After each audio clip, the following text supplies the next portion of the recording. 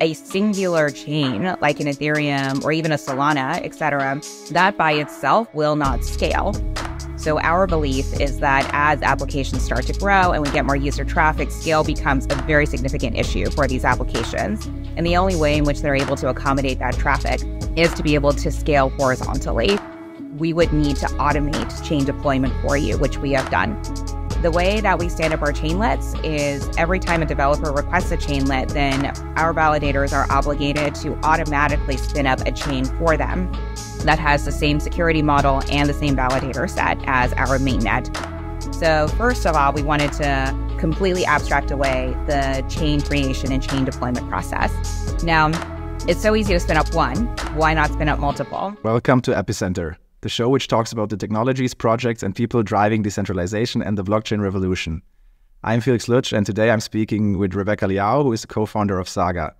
Saga is a layer one network that allows developers to spin up dedicated chainlets, app chains dedicated to their specific use case. Before we talk with Rebecca, we'd like to tell you about our sponsors this week. This episode is brought to you by Gnosis. Gnosis builds decentralized infrastructure for the Ethereum ecosystem. With a rich history dating back to 2015 and products like Safe, CowSwap, or Gnosis Chain, Gnosis combines needs driven development with deep technical expertise. This year marks the launch of Gnosis Pay, the world's first decentralized payment network. With a Gnosis card, you can spend self custody crypto at any Visa accepting merchant around the world. If you're an individual looking to live more on chain, or a business looking to white label the stack, visit gnosispay.com. There are lots of ways you can join the Gnosis journey. Drop in the Gnosis DAO governance form, become a Gnosis validator with a single GNO token and low cost hardware, or deploy your product on the EVM compatible and highly decentralized Gnosis chain. Get started today at gnosis.io. Chorus One is one of the biggest node operators globally and help you stake your tokens on 45 plus networks like Ethereum, Cosmos, Celestia, and DYDX. More than 100,000 delegators stake with Chorus One, including institutions like BitGo and Ledger. Staking with Chorus One not only gets you the highest yields, but also the most robust security practices and infrastructure that are usually exclusive for institutions. You can stake directly to Chorus One's public node from your wallet, set up a white label node, or use the recently launched product, Opus, to stake up to 8,000 ETH in a single transaction. You can even offer high yield staking to your own customers using their API.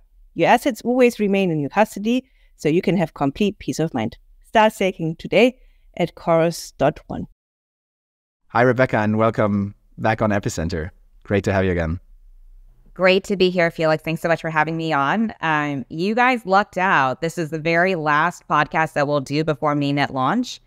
Um, and we're obviously not releasing until after mainnet launch. So, um, yeah, quite a bit of rich information I can tell you today.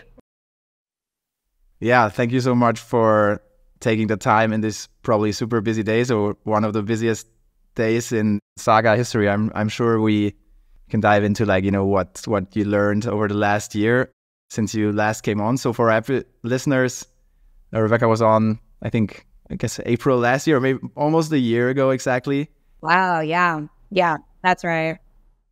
And so we talked a lot about kind of Saga's architecture and like sort of the core value proposition there. Um, I, it was much earlier days than today, I'm sure. So, um, but yeah, anyway, so maybe you can we can kind of start by talking a bit a little bit about you know the high level of, of saga what it is for the people that didn't listen to the first episode and, and who you are. Maybe, maybe we can start there. Yeah absolutely. And well felix great to see you again. Um, it's always great to spend time with you guys. Epicenter is definitely one of our favorite podcasts. Um, so i did to miss this for sure. Yeah so saga is a layer one um, but we are a layer one to launch other layer ones. Uh, so everything that is built on Saga is by definition on their own chain or set of chains, which we call chainlets. And why do we architect it this way? It was for infinite horizontal scalability. So our belief is that as applications start to grow and we get more user traffic, scale becomes a very significant issue for these applications. And the only way in which they're able to accommodate that traffic is to be able to scale horizontally. Uh, and so, at a high level, that is what Saga is. We are costless on the front end. So, we're very careful to um, to specify that we're costless as opposed to gasless. So it's blockchain. Um, anytime that you're dealing with a chain, there's no such thing as no gas. I mean, you can set gas to zero, but um, we don't advise it. And I think uh, any any sort of like blockchain engineer architect out there will advise you against that, even though it's very tempting. So instead, we have a system um, by which your transactions on the front end remain costless. It's true that Saga does not show up on the front end. We do not charge a gas fee to the end user.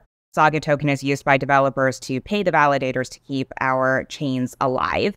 So, um, given all of that, it is a system that is optimized for consumer adoption in terms of uh, what I've been working on, I mean, running this project has been uh, quite insane. I would say it's probably one of the most insane things that I've ever worked on. I mean, before this, I did another crypto startup with Zaki. Um, that was more in the DeFi space. And then before that, I did an AI startup. And uh, things have definitely changed in that field. I mean, back then, natural language processing was impossible. And I mean, now it's table stakes, right? People don't really think about it anymore. Uh, it's, it's been incredible to to see the journey over time of just what technology sees as the next frontier. But this is the most exciting thing to be working on um, at the moment for sure. And uh, yeah, I I'm thrilled going into mainnet launch. Yeah, that's awesome. There's there's a lot to dive in there. Maybe even a little bit the AI use case. We can we can see if, if Saga returns to its origins. Uh, but maybe we can start like you mentioned, yeah, infinite horizontal scalability. I guess we have had a lot of infrastructure projects on here. I think that's kind of like one of Epicenter's focuses in, in some ways, and maybe also like blockchain overall focus since we didn't have that many consumer apps yet. How do you, yeah, I guess compare to like other infrastructure projects that like like like I don't know new stuff like shared security, restaking, modularity. How how do you feel Saga fits in there? What differentiates from like maybe other infrastructure products? Yeah, so I I would put it this way. You know, it's it's always interesting how these tech narratives pop up in crypto, um, because the fact of the matter is, you can discuss endlessly until you actually have to deliver a product. And so at Saga, you know, we look at all these different things, whether it's restaking, um, shared security. I mean, they're kind of the same thing. Um, so every protocol has different ways of doing it, but they're all getting at the same idea, which is that a singular chain, like an Ethereum or even a Solana, et cetera, that by itself will not scale. And so the way that you are able to, to scale out something that's existing or how you're able to build a system for scalability from the beginning is you're able to accommodate for additional block space. So you need to be able to provision with new block space. And the way that some protocols do it is by you know restaking from another chain that's completely foreign to them um, to their own set of chains. Um, at Saga, everything is native. So there is a Saga mainnet. Um, it has a set of validators. It is a fully decentralized proof of stake Cosmos chain. The way that we stand up our chainlets is every time a developer requests a chainlet, then our validators are obligated to automatically spin up a chain for them that has the same security model and the same validator set as our mainnet. So it is definitely shared security. Can you call it restaking? Sure, you can call it restaking um, because we're taking the validator stake from the mainnet and then applying it to a chainlet. You can call it modular as well because we're definitely not doing a singular L1. Uh, we are an L1 specifically to proliferate L1s. But at Saga, I think that um, our experience is app developers can get quite confused by all of these options, especially because A, they have to understand what the technology does, and then B, they have to understand what the significance is for them. And uh, we tend to want to cut to the chase here. Um, and so we tell the app developers you want scale. At the end of the day, if you are a game, for instance, which is our main focus, you are looking for scale because the fact of the matter is, you know, game designers are creatives. Felix, I don't know if you're a gamer, but I'm sure you've played lots of games throughout the years. Uh, they are creatives. And so they have a creative vision in their head. And most of the time, the technology is nowhere near capable of meeting that creative vision.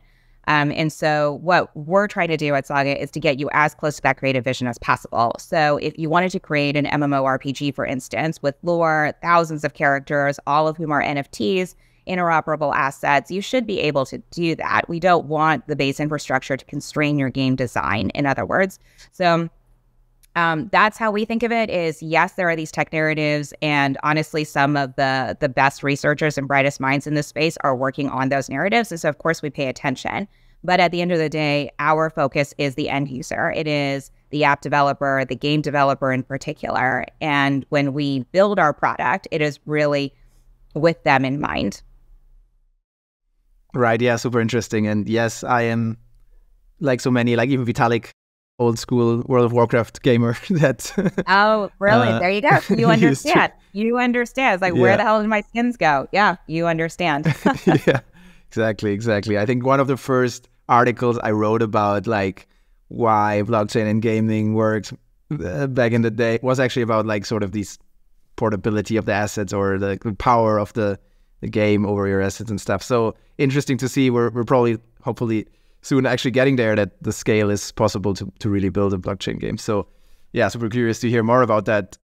Like you're you're saying you're focusing specifically on the gaming use case. Can you or like I, guess also app developer perspective, can you describe a bit how how you do that in practice and how you like abstract stuff from them that the that the blockchain does or or things like that? Yeah. So first and foremost, I I think um and and this is not a small thing. I mean, it's um it's one of those things where I think in the roll up discussion, it's become um sort of a, a more muted part of the conversation. But I think it's important to remember, which is that building a chain is not easy. Um, so what are the components of a fully decentralized proof of stake chain? First of all, you need a validator set. And um, that means that you need to be a project that can be profitable for validators. And that already cuts out most of the applications out there, especially when they're first starting out. And so having your own chain um, prior to Saga was an enormous lift. So that's the first thing that we wanted to solve for developers is if you want your own dedicated block space, which is your ticket to actually scalable infrastructure, then um, we would need to automate chain deployment for you, which we have done. Um, so right now in our web app, honestly, you fill out five parameters for your chain, um, and then our validators will take about a minute to sync. Um, and then all the services around the chain will have to be spun up. So the indexers, the RPC endpoints for sure, the block explorers. Once that is done, um, the whole process is maybe about a minute and a half. You have your own chain, and you can have as many of these as you like. So, first of all, we wanted to completely abstract away the chain creation and chain deployment process. Now, it's so easy to spin up one. Uh, why not spin up multiple? Um, because at the end of the day, one change should be enough for most applications to start off with. But if you are a large game, for instance, that is built on another system and you are looking for a scalable solution now, then you have a lot of users and a lot of assets that are already built in. You're already starting to think about multiple chains. Um, so, Felix, if you're a WoW player, then you know all about game instances, game shards, different realms. And this is how game developers like to organize their game. Um, so it starts to expand onto multiple chains, but it'll still feel like the same application. Um, so it's actually quite similar to cloud in that sense, um, because you probably start off with one AWS instance um, or a couple. And as the compute resources you require increase, then you would expand to as many instances or servers as you as you can. So it's the same idea on Saga. Just expand to multiple chains if you need that additional performance. Um, because we're all familiar with Cosmos, I can start a little differently on this point, uh, which is that IBC allows all these chainlets to speak to one another. Um, so there is complete interoperability within the Saga ecosystem. Now, bridging out to other ecosystems this is also where it gets interesting. I would say that with most solutions out there, whether it's um, rollups for sure, even other app chain or sidechain solutions, bridging is an issue um, because the way that bridging usually works is you have a bridge provider, and um, even for the ones that are completely decentralized, there is still some way in which they will whitelist a chain. Um, and it's usually a BD effort. So you have to talk to the core team and um, get them to agree to open up the bridge for the assets that are coming from your particular chain. Now, um, for most layer ones or for um, any layer one prior to Saga, that was, I mean, it was a manageable effort because the number of layer ones eh, was pretty finite. Um, but here, we're going for infinite horizontal scalability. And honestly, any application developer should be able to just spin up chains whenever they want And therefore, talking to the team every single time you're going to spin up a chainlet is not scalable. So we needed a way in which you can permissionlessly add um, our chainlets to the bridges and then open up bridging for the assets that are contained on those chains. So the fact that we are a fully decentralized proof of stake system with fast finality, that gets us to that fast bridging. And that's something that a lot of application developers are looking for as well. They just want to go where the liquidity is. We at Saga think that there is far more value um, that we can create in terms of being the hub for these application developers than in making sure that all the liquidity is locked on here. Um, as we know in technology, oftentimes if you are the easiest platform to use, then liquidity ha- just happens to find you um, because that's where the user traffic and the developer traffic will go. Yeah. So um, those are some ways in which we're helping out developers. And then the costless transactions that I mentioned earlier, that is absolutely key. I think, especially for game developers, um, many of them have aspirations to have their own token, or uh, they are looking to maybe use a token of another ecosystem, even if they're coming to us from uh, an Ethereum community or a Polygon community, et cetera. And we allow for that kind of flexibility on the front end. So we don't interfere with the monetization, in other words, um, of these application developers with their end users. So, yeah, the entire system has been really architected to maximize the experience for the app dev. And um, I think, given the the traction that we've seen so far, it's resonating. Yeah, thanks. That was a lot. Super interesting. And am I understanding correctly that it's not like the assets you bridge have to go kind of through the Saga hub L1, but they can actually go straight from Chainlet to to somewhere else. That's exactly right. So every chainlet is a chain. It is a fully decentralized proof of stake chain in its own right, um, and so it's able to do everything that a layer one can do. The only difference really is that we don't require you to have your own token for staking um, because again, everything is, I, I, guess you could say it's restaked from the Saga main chain. And so there's no need for you to have a staking token. Um, a lot of people will ask about staking regardless. And I think that's because maybe some validators have become important community members um, for these applications for, you know, for various reasons. And they want to be able to reward the validators or people who have been longstanding community members through the mechanism of staking. And it's true, staking is an incredibly powerful incentive mechanism. It's why many people attempt to stand up layer ones. But what we always tell people is, okay, I think it's it's time to change the mental model a little bit in that you don't have to have actual staking. You know, you don't need to secure the network per se, but you can have staking. Um, you can have people stake their assets in liquidity pools or with certain assets based on certain activity in your application. It's just you no longer have to worry about a staking token for purposes of security. Yeah, that makes perfect sense. I think I guess that's it's getting back a bit to because in the end, obviously the app chain developer needs to kind of pay for Saga. So maybe that's also uh, yeah, something we can talk about a bit. How does this pricing work? I know we probably talked about it last time, but we, we can probably go back into that yeah. So pricing is, um, no, thank you, Felix. It's a very important point. Um, pricing is a very uh, important vector for us. And the reason for that is, I think from the perspective of an application developer, gas is annoying, not just because it's potentially high, um, it's unpredictable. And so when you are trying to actually, you know, stand up a project, get some traction for it, you want to be able to know what the costs are. Um, pretty basic. And I think for us, when we um, designed our tokenomics, uh, that's one thing that we really aimed for um, was some sort of understanding of what the cost is going to be for running one of these chains.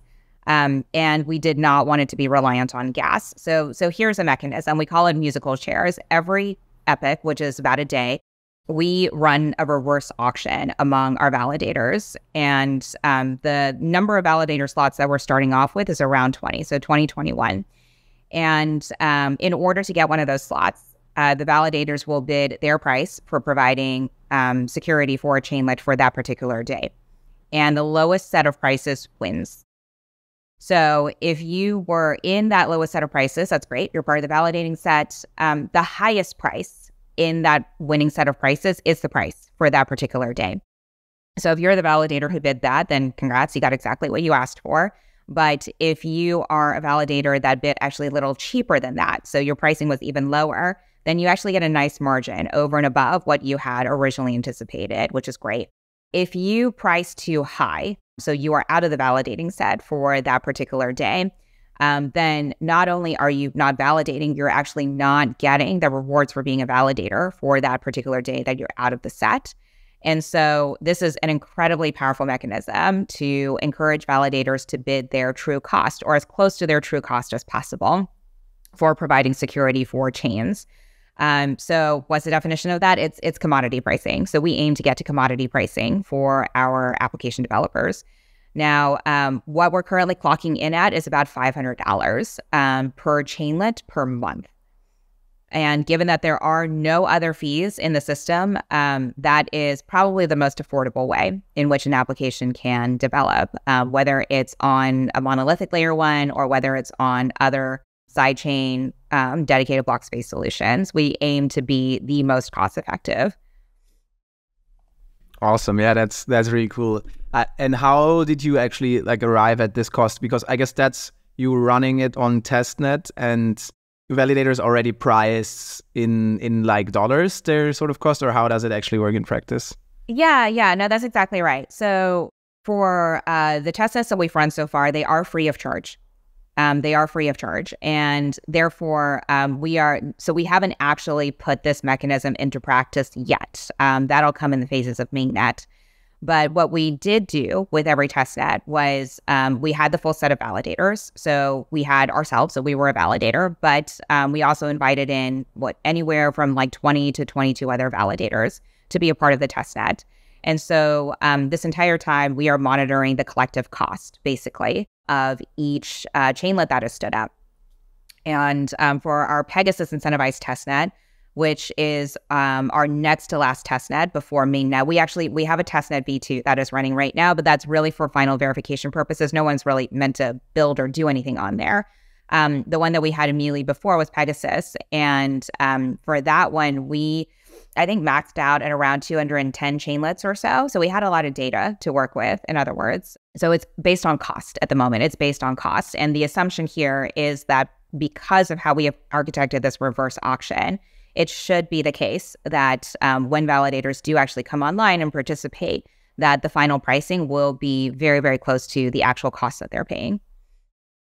Yeah, super interesting. Yeah, like curious to see how it like will look on mainnet and if it will turn out like that. I guess that will be the the big question. So, like I saw, actually, I I mean, yeah, you you mentioned 210 uh, chainlets there on the Pegasus testnet. Like when you go to mainnet, how many do you expect to go live in the first few weeks? Do you have an idea of, of how much it might be? Yeah, so our um, day one mainnet launch partners, there are over 100 of them. So, um, I mean, we have a Saga Innovator program. That's our ecosystem program. We've been building that for the last year and a half, two years and that has 350 projects in it. Um, and so not everyone is going to come online day one, uh, but we definitely wanted to encourage as many people to get started as soon as possible. Uh, so it should be over 100. All right, yeah, that's that's super exciting. Yeah, congrats. That sounds like a lot. I think I'm assuming a lot of them, given the core focus is games still, as, as I understand, are games. Um, can you talk a bit about yeah is that like the main one? And then maybe yeah how do you yeah what did you learn from these games? Or how how what sort of games are there? Like what excite you? That which games excite you? Yeah how are you approaching these game developers everything in in that sense? Yes the vast majority are games. Um, some of them are going to be more pure nft collections. So i would say 80% of our ecosystem is gaming um, and then about 10% is more pure NFT and entertainment. And then the remaining 10% is DeFi. So we are an L1 um, at the end of the day. And so there, there are always interesting things that you can do with respect to DeFi on an L1, especially here, uh, where pretty much every single chainlet is going to have at least one token.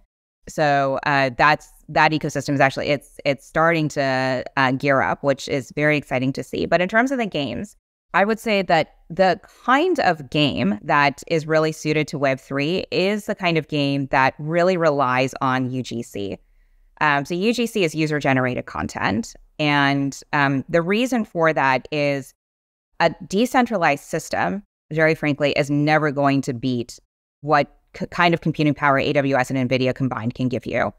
Um, so, if you're looking for a game that is meant to be, you know, a fast moving, high performance, completely optimized visual experience. Blockchain is not really meant for that. Blockchain, I hope, can support that kind of game, but it's not the base infrastructure for it. There are many other game infras and tooling for that particular kind of purpose. So, what is it that Web3 and blockchain uniquely bring um, to a game? It really is that decentralized generation and control of intellectual property. Um, so, what that means is if you are a mod for a game, not not a, a social mod as in a moderator, but if you modify games, for instance, then you are much more easily able to monetize that without ever having to consult the big studio or the original creator of the game. If you are a gamer and you're looking to customize your avatars or your skins, then this is a great way um, in which you can go ahead and do that and actually retain control and monetization of those assets. Uh, and so it's really those core things around ownership, creative freedom that is really suited to Web3 gaming. So the kinds of games that we seek out, they do tend to be um, pretty vast in vision. Um, so open worlds, MMORPGs, things that have lore, but we also are starting to see some like pretty pretty fascinating genres come on board. Um, so survival, horror games as well. Um, some of the games that will come online immediately are things like Rogue Nation um, by Moonlit Games. There is um, a game called Another World, which is a classic RPG game. Um, there's a game called Star Heroes. It's like it's first person shooter, but it's set in space. Super fun game um, Ethernity, which is kind of Fortnite but on jetpacks. Um, there's a significant AI component to it. Um, so those are some of the ones I can come up with off the top of my head right now. Uh, but we also recently announced a game publishing arm at GDC called Saga Origins and anyone can build on Saga. Anyone can build on Saga. But in terms of the games that we financially back and that really get the benefit of full publisher services, uh, including go to market, user acquisition, creating game awareness, community building, etc., all the things that a publisher generally does for games, um, it is a very specific kind of game. So we have a pretty clear creative point of view at Saga when it comes to Origins. So we're looking for games that are provocative, expansive, and uncompromising. So these are the hardcore games. We're looking for that intensity of content. And um, why is that? Because again, we're looking for what is it that Web3 can uniquely bring, right? And um, I think E for everyone games are terrific. I mean, you know, who wouldn't want a game that anyone and everyone from your like two year old cousin to your like, you know, 50 year old dad could play? That's awesome. But we think that Web3 is meant to push the envelope. We should be a home for that content that will not get accepted by big studios. And there's quite a lot of that right now. Games that are really great quality, um, but the content is just not acceptable for mainstream consumption. But as we know, uh, if you build something that is of great quality, it's a great product, and it resonates with people, it will find the mainstream. And so the games that we're starting off with for the publishing arm, they do tend to be a little bit more intense. They are def they're not E for everyone. They're definitely M games. And we just we think that we're going to carve out that pretty unique niche um, within Web three. And I mean, we're we're already seeing in early play testing that people are really responding to. Maybe a little too much, um, but it's it's fun. It, it's it's a fun process of discovery.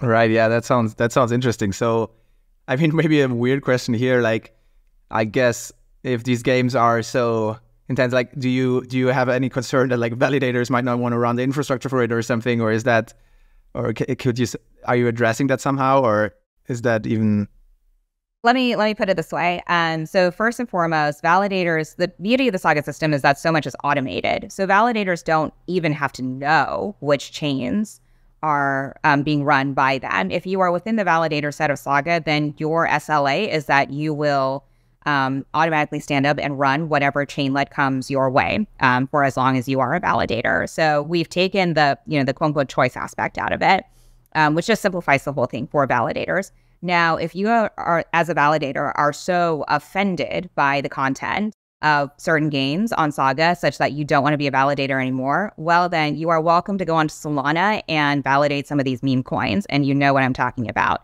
So, yeah, if censorship is your thing, then, you know, go with God. Right, right. Yeah, makes sense. Sounds sounds sounds fair.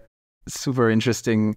And so I think one thing I also wanted to talk about, I mean, first of all, like super interesting with the publishing house. How did you actually like so it's funded by Saga in, in a sense and it's like its own like sort of business. Uh, and people like are working on that. Yeah, okay, that, that's super super exciting. Yeah, yeah, yeah. So it's it's not a separate entity right now. So it's still a part of the Saga core team. Um, but we are starting to think about how do we like make it its own thing because I mean we are focused on gaming entertainment as a chain to to begin with. Um, most of the people on the business side at Saga um, have been sort of oriented towards games this entire time anyway. Um, so we're starting off the publishing house with just the core team working on it. But yes, as we grow, as we get more titles, um, as the demands for those titles become greater and greater, then I, I do think that we're going to hire out a specific team for that. Yeah, very interesting. Um, maybe also going to like this sort of test net learnings and kind of how it is for the validator side. I mean, I guess I have like a bit of a background there, so maybe that's why I'm interested in it. But yeah, how has that been for the validators? Have they? How much infrastructure are we actually talking? If you're like 210 chain chainlets, like how many, like how beefy are, are the machines, or is it like all one machine, or are they like provisioning separate infrastructure for this? And yeah, I guess, or what other learnings were there in the test net, maybe aside from the price discovery there? Yeah, so I would say um, in terms of validator load, um, so so far it's been it's been manageable. Um, in terms of how many machines a validator has to run in order to support one of these nodes, I think it has been quite manageable, um, and we've seen that for our own validator as well. But the thing that we did learn, this was interesting, is oftentimes when people talk about scalability, they they focus on things like TPS, for instance. You know what your block time? What's your time to finality settlement? Um, these are the things that people focus on. But what we learned um, is sort of midway through Pegasus incentivized testnet, that's when we ran a developer challenge. And we told um, developers who are part of the Saga innovators, as well as outside developers, actually, we invited in the community, please pound the system, just pound the system with transactions and just because we want to see how it responds under great duress. And what we found is that the chain holds up. So the chain holds up. Nothing wrong with validator operations. The chain holds up very well. It's actually the services around it that have a problem. So, for example, the block explorers, um, even some of the RPC endpoints, indexers are, you know, they're sort of whatever for now. Um, but definitely the block explorer, it was just not able to catch up. And uh, what I mean by that was when you spin up uh, a new chainlet and you're starting to paddle with transactions. I mean, the block explorer sort of has to come online at the same time and then keep up with the block production. And the explorer that we had been using at the time just was not able to do that. And any sort of failure of transactions as a result of the stress test, it was actually more due to the services um, surrounding the chain. And so that's when our engineers were like, this is, this is quite interesting to learn um, because in the journey to mainnet, they had been thinking, okay, we're just going to focus on making sure that the chain is entirely stable and secure. And that turned out to not be the issue. Um, so ever since that particular stress test and then leading into mainnet now, the engineers have really been focused more on the services. Um, so making sure that the services can be optimized and catch up with the production of blocks. That was the main learning. That was the main learning. And we're doing the best that we can right now, um, given the services that are available. And we don't produce any of these things ourselves. So we don't like have our own native block explorer, for instance. We have not built our own indexing service, but uh, we are doing our own service provider stack for RPC endpoints, um, just for node orchestration, because it's more complicated in our system than others, where every single chain has their own RPC endpoint. So if you are integrating with Saga, there's really no such thing. You're really integrating with individual chains. So yeah, I, I, think it's optimizing for all of that. Um, that's that's a learning that came out of it. But it's, it's pretty fascinating, um, and it also gave us a good idea of what kinds of projects we want to back going forward. Not necessarily in terms of games, but for growing the Saga protocol. So if you are a developer in the community and you want to contribute to this protocol, you're not a part of the core team. You know, what are some of the services that that will finance? In other words, that will give grants to, um, in order for you to just make this a lot stronger but yeah, it was it was fascinating. Yeah, that that's super interesting. It's kind of like once you have real usage, you start to realize this like base layer is actually maybe maybe like Comet BFT is performing well, but uh, some other things are not. I guess even like in Ethereum, maybe in DeFi, you added a bit with like MEV and and and stuff there, where that was probably also a similar realization. And so like these services are run not by like the validators or like the I guess the RPC nodes who kind of provides them in the end or how are they part of the Saga system at large. Uh, is there like also like some sort of economics around them, or how do they How can I imagine that? Yeah, at the moment, at the moment, it's a package. At the moment, it's a package. I mean, oftentimes these services are, you know, they're open source tools. Um, they don't really have sort of a, an economic model to them as of yet.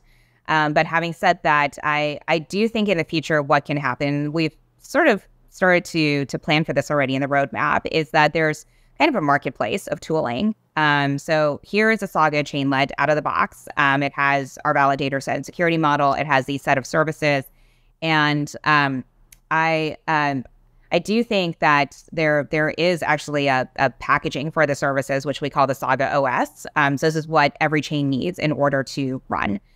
Um, now, if any component of that Saga OS is something that you want to switch out, then that's entirely possible. Um, but it's not possible right now. But we would like for it to be possible in the future. So if you wanted to bring your own Block Explorer, for instance, if you had your own preferred in- indexing service, then you can switch it out if you wanted to switch out any particular component of the chain itself. So if you don't like the execution layer, you don't want to use EVM, you'd rather use SVM or some other kind of virtual machine. If you wanted to switch out our DA or somebody else's DA, that's also totally fine. So it really starts to be this like marketplace of developer tooling.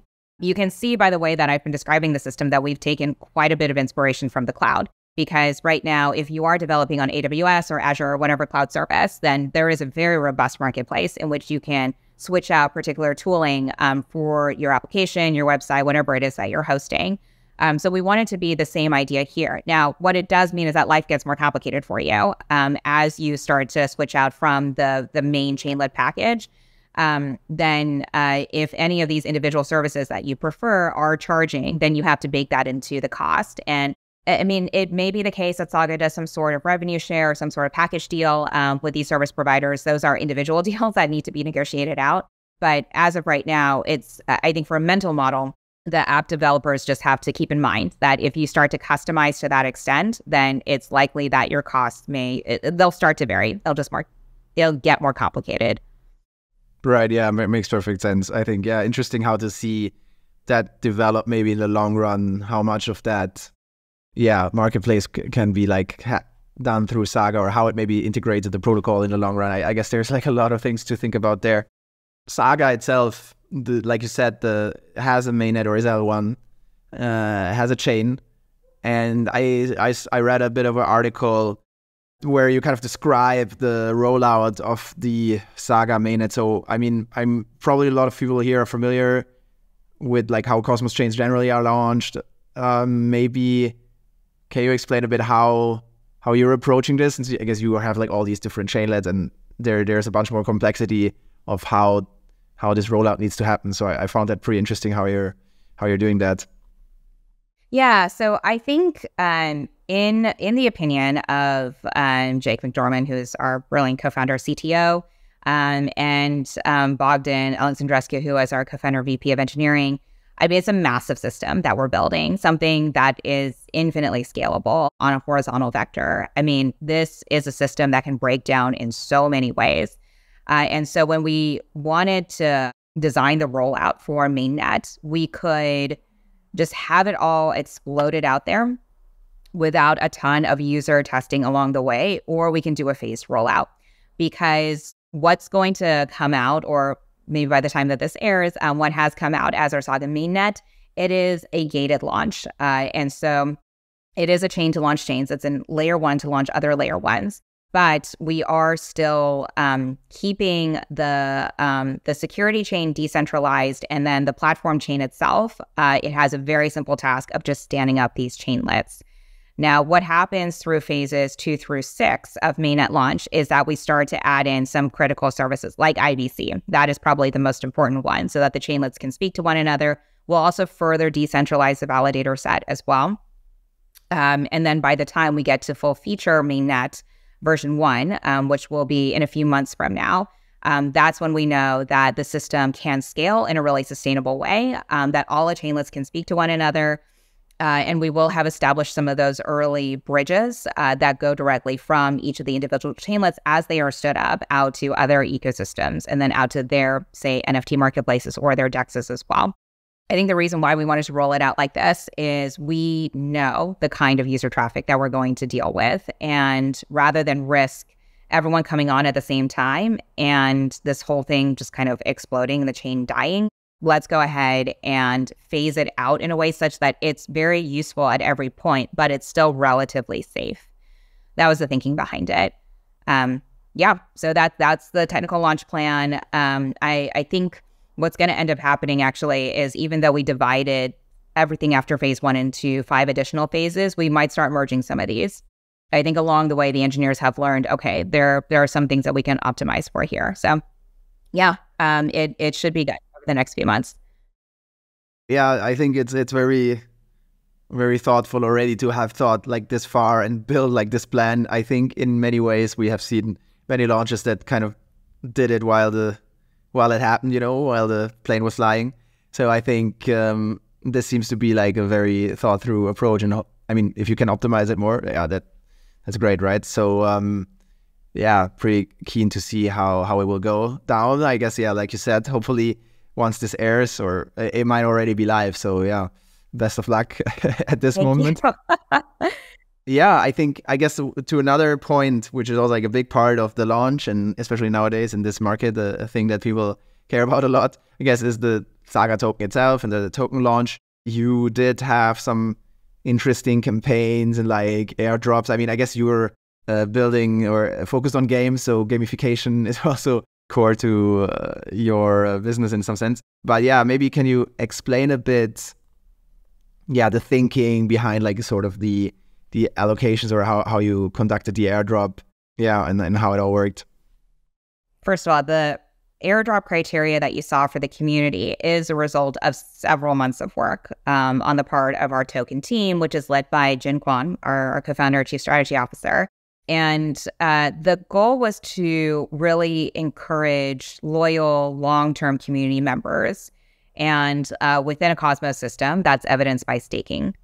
So we wanted to target the most loyal stakers. And um, in terms of sort of narrowing in the on the subset of stakers and how the budget will be allocated between them. So we wanted to target um, roughly 200,000 wallets. That was our goal.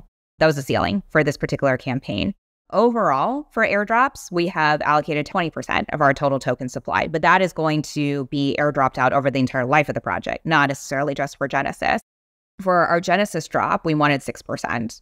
And um, among that 6%, we wanted to reserve about 4% for those stakers.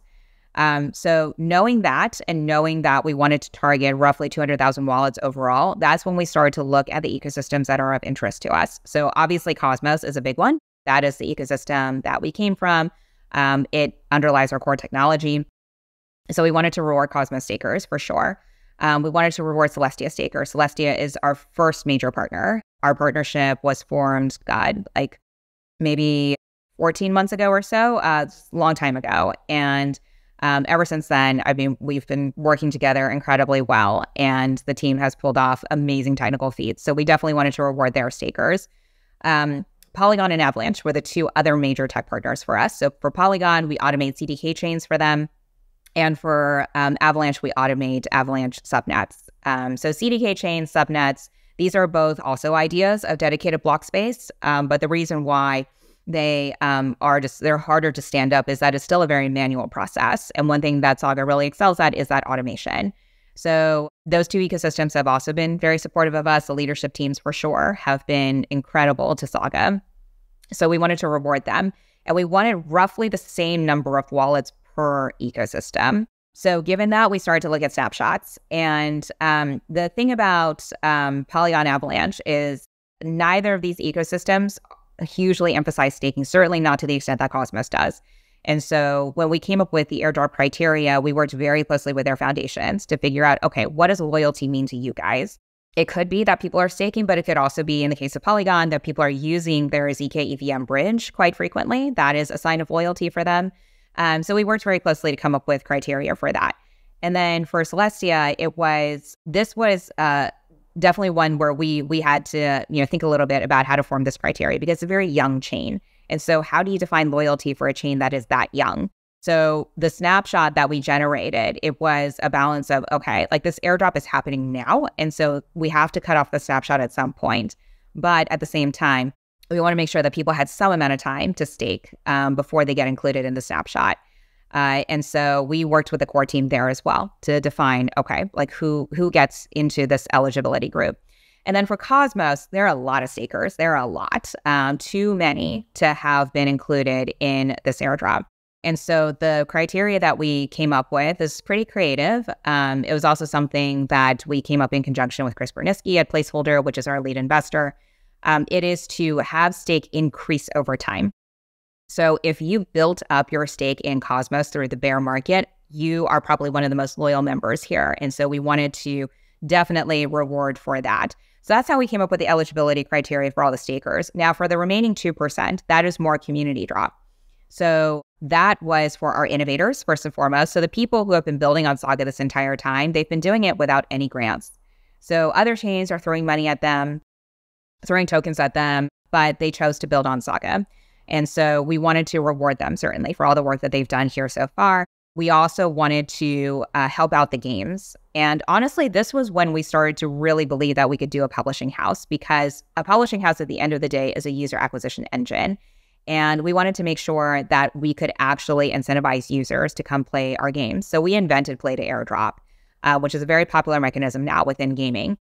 It's a simple idea. You play the games, the leaderboards are eligible for airdrops, and in this case, airdrops of Saga tokens. Um, so we ran like 50 plus tournaments probably um, throughout the months of December, January, February, a little bit into early March as well. And the user acquisition numbers were absolutely fantastic. So this was a successful campaign for all the games that participated, but also for the entire community. So that's how we were slicing um, all the individual airdrops. And then we thought, okay, we have to do something for the culture because, I mean, we are coming into this having taken a lot of the work that early NFT projects have already done. So uh, we pay tribute to CryptoPunks. Um, so we drop to Punks, to Bored Apes as well um, as one of the most OG NFT collections. And then we also airdropped to Bad Kids um, just to pay tribute to Cosmos. So um, yeah, that's how we came up with the overall airdrop criteria.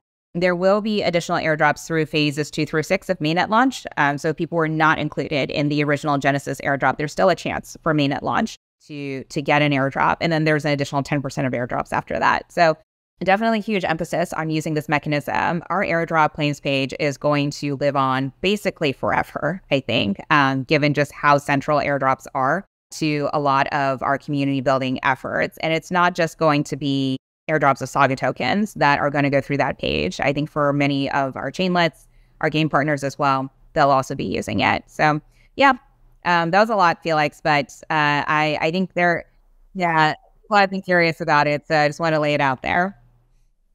No, yeah, yeah. Again, I think it's like a good example of how much you've thought about this and uh, kind of targeted. So I think, yeah, actually interesting to hear, right? Like, I guess makes sense. Games want to maybe use it so it's kind of like part of the Saga stack to also get like sort of these features almost uh, delivered to you. Uh, so if you're a game developer, you know where to go.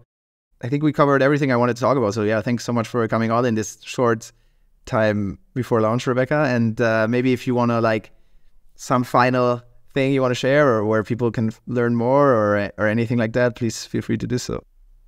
Yeah, absolutely. No, Felix, thanks so much for having me. Um, it's definitely a lot of fun. Always great to catch up with you. And um, yeah, I mean, we covered a lot of territory there. Uh, I, I think that this will be a very exciting period. I mean, heading into the post launch period, I think people will start to understand how it is that we made our choices for our underlying architecture and then how it is that we approach distribution. So uh, the challenge of Web3 is that so much of, of what we do already has a basis in like Web2 and like, you know, traditional programming, traditional gaming. But what is unique to this particular space? I think that that is the question that has obsessed Saga for, for a very, very long time. So I, I think that with um, the the system that we've built for infinite horizontal scalability that a lot of app developers are going to figure out okay, you can do a decentralized system, but it is still eminently scalable. And so it can take on this consumer volume. And then in terms of the distribution channels, um, yes, I mean all the usual ways in which you get user acquisition for a game or any sort of application, they they still apply here. So marketing is marketing is marketing. But at the end of the day, Web3, because of the community building aspects and because of the aspects of ownership uh, and control of your own assets and your place within these communities and ecosystems, there are many more powerful tools that you can unlock if you're built on this technology. And I think that um, people are going to very broadly recognize that um, through the campaigns that we run, both here in crypto. Um, so people who have been in the space for a long time, but also for for people who've never touched it before. That's that's part of our goal is how do we bring in people this cycle who are I'm sure they've heard of crypto, they're crypto curious, but they've never actually used any of the products before. That's a huge goal of ours. So yeah, I mean, our our journey really starts now. For a lot of people, you know, mainnet launch is such a huge lift that there's a giant exhale afterwards, and people just kind of like you, you need a little bit of time to recover. I'm sure our team will take a little bit of that as well, but this is really just the beginning. I mean, we're we're recording this before mainnet goes live, but already there's an extensive post launch plan. So yeah, we're we're not slowing down. I mean, this is just too much exciting work to be done. Awesome. Yeah. Thanks so much again. And yeah, best of luck with the launch and hope we're going to see some Saga apps uh, be like among the top most used crypto apps in, in the next few weeks and months. So uh, yeah, exciting. Thanks so much and see you soon. Maybe next year, one year after launch. Awesome. Thanks so much, Felix. Take care.